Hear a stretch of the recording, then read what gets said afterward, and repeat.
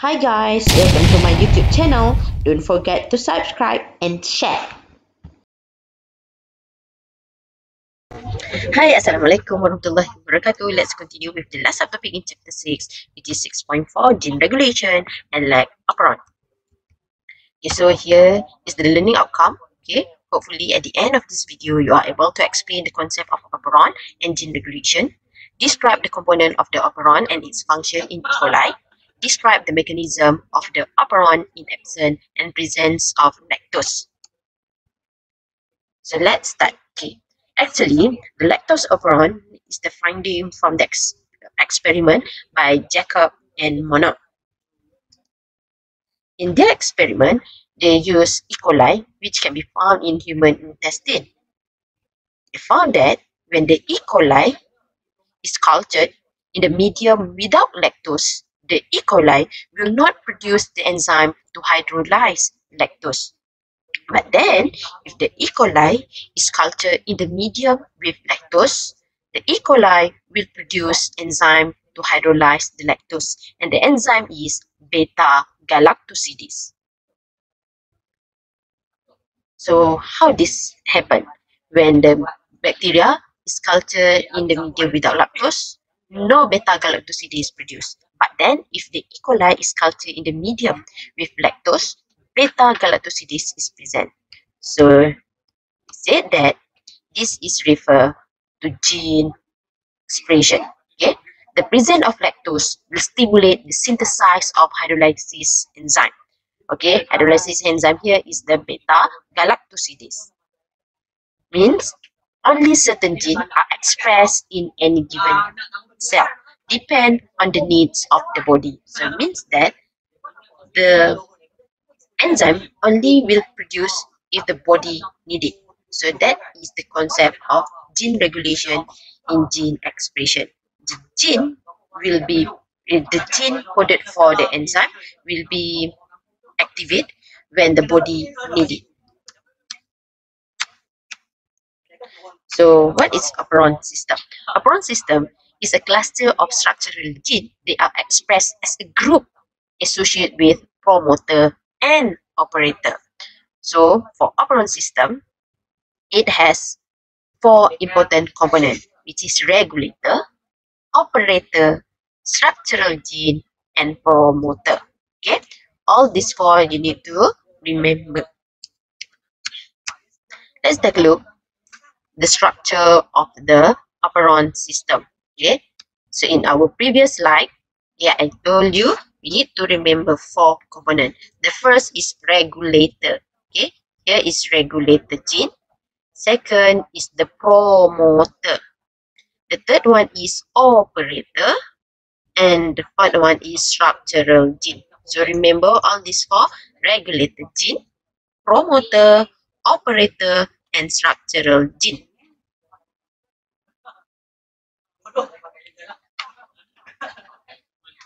So as you can see here, the structural gene, this is actually, all this is, you can see this is a double strand of DNA. So in DNA, as you know, it will provide the genetic information for transcription to produce mRNA. So when the structural gene is being transcribed, it may produce single mRNA. Later on, the mRNA will be used to produce polypeptide. So as you can see here, for structural gene number 1, it will code for polypeptide 1. Structural gene code number 2, it will code for polypeptide number 2. Same goes to number 3 and number 4. So here is the E. coli. As we know, E. coli is prokaryote. So the DNA relies freely in the cytoplasm. And then for the E. coli, the DNA is in square shape. We call it as plasmid. So here is the DNA double helix. So we take it out. So here is the double strand of E. coli DNA. Here is the operon system, which consists of regulator gene, or known as lac-I. This regulator gene or lac-I code for repressor protein. Okay, what is mean by code for repressor protein? When this lac I is being transcribed, it may produce mRNA, and then after the mRNA is being translated, it will produce repressor protein. So that's why we call regular gene code for repressor protein. Then we have the promoter, operator, and then the structural gene. So for structural gene, we have lacZ. This lacZ will code for enzyme beta galactosidase. So the next is lac-Y. This lac-Y gene will code for enzyme permease. And lac-A will code for enzyme transacetylase.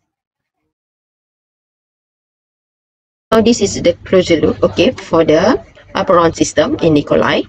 The regulated gene, as I said, also known as lac-I, it will code for repressor protein. And this repressor protein can make the operon system switch off when it bind to operator. Okay, as you can see here, the repressor protein has a binding site for allolactose, which is the isomer of lactose. Next here, we call a promoter. This promoter will provide a binding site for RNA polymerase. So recall back in transcription, okay, we use enzyme RNA polymerase. The enzyme used to transcribe information in DNA to form mRNA. So the promoter is the binding site to initiate the transcription process. So the RNA polymerase will bind to the promoter. Second is the operator. As you can see here, operator provide binding site for repressor protein. Okay, so when the repressor protein bind to operator, it will switch off the operon system because it will block the RNA polymerase from transcribe the structural gene. Next here, we have three structural gene, LEG-Z, LEG-Y, LEG-A. So LEG-Z will code for beta galactosidase, LEG-Y code for preamase, and LEG-A code for transacetylase. Hopefully, you can remember the function for every component.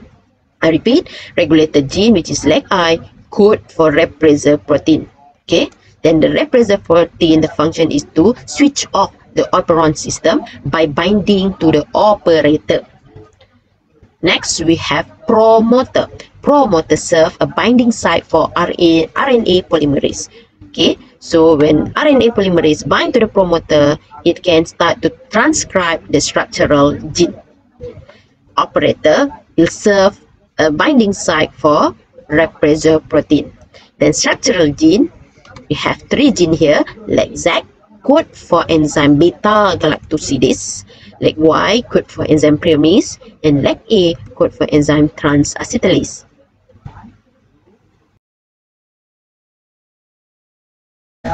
Okay, again, this is the structure of lac operon First, we have lac I, that is also known as regulated gene. Will code for repressor protein. And then we have the promoter. It will provide a binding site for RNA polymerase. Then we have operator will provide a binding site for repressor protein. And then the structural gene which has lac-Z which code for enzyme beta galactosidase and the function of beta galactosidase is to hydrolyze lactose into glucose and galactose. Next we have LEG-Y the enzyme is permease and the function of permease is to transport lactose into the cell. And the third gene instructional gene is lac A. It will code for enzyme transacetylase the function of transacetylase is to transfer an acetyl group from acetyl coenzyme A to beta galactosidase. Okay so hopefully you can remember this Beta-galactosidase, the function is to hydrolyze lactose. Preamase transport lactose into the cell. Transacetylase transfer an acetyl group from acetyl-CoA to beta-galactosidase. Okay, if you clear about the structure and the function of the operon component, okay, let's proceed to the mechanism of the operon in the absence and presence of lactose. So the first case is when the E. coli is cultured in the media without lactose. So mean in absence of lactose. So the situation, lac operon is switched off. This is the mechanism. Okay, regulator gene will code for enzyme repressor protein. Will code for repressor protein. And then the repressor protein will bind to operator. So the repressor protein bind to operator. The binding of repressor protein to operator will block the attachment of RNA polymerase to the promoter. Okay, you can see here, when repressor protein bind to operator, it will block the RNA polymerase from binding to promoter. So to start the transcription, RNA polymerase must bind to promoter. But now RNA polymerase cannot bind to promoter so that the structural gene cannot be transcribed. So when the structural gene cannot be transcribed, no mRNA, mRNA produced, so no enzyme will produce. Okay, the leg Z, leg Y, leg A is not been transcribed. So beta galactosidase permease and transacetylase is not synthesized. So this situation we call as lac operon switch off. Why? Because lactose is absent. Second situation is in presence of lactose. So when the E. coli is cultured in medium containing lactose, the lac operon called to be switched on. Okay, how? The lac I or the regulated gene will code for repressor protein. So the repressor protein bind to the operator. But in presence of lactose, the lactose will convert to its isomer called allolactose. So look at the structure of repressor protein. It will serve a binding site for allolactose. So allolactose bind to the repressor protein. When allolactose bind to repressor protein, it will cause the repressor protein change in conformation. So repressor protein change conformation and detach from operator. So RNA polymerase now it can bind to the promoter and start to transcribe the structural gene which is lac Z, lac Y, lac A. So the product of transcription is mRNA represented by this being strand. And then the mRNA undergo process translation. So produce the three enzyme Z code for beta galactosidase which the function is to hydrolyze lactose.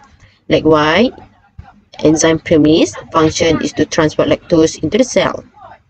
And then transacetylase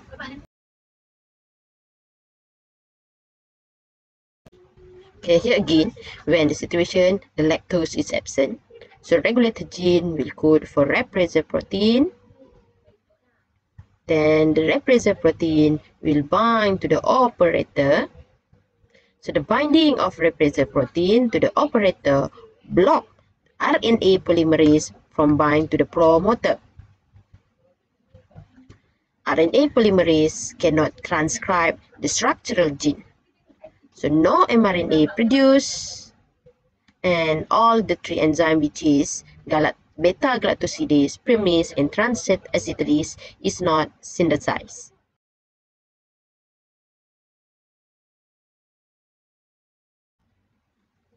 But when the lactose is present, okay, by this time the repressor protein is bind to the operator.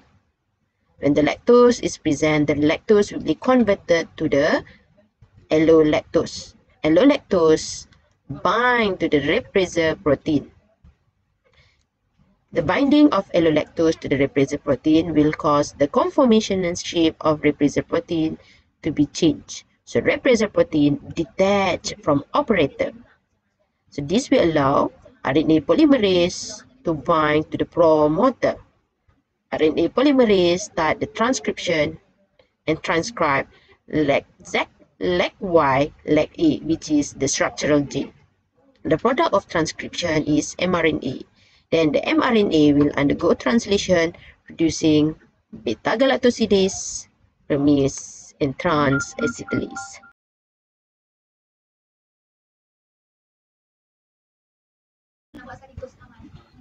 So this is the two um, hot question that um, frequent to be asked. The first question is, what happens when individual drink milk containing glucose? So the answer is, if lactose and glucose are present, the cell will use all the glucose before the lac operon switch off. Glucose is used as main energy source. No lactose Next, what is the advantage of having just one promoter for all structural gene? One promoter for all structural gene. So as we know, structural gene we have three. So the advantage is only one mRNA produced and all the three enzymes synthesize or repress simultaneously. Thank you for watching. See you in the next video. Bye.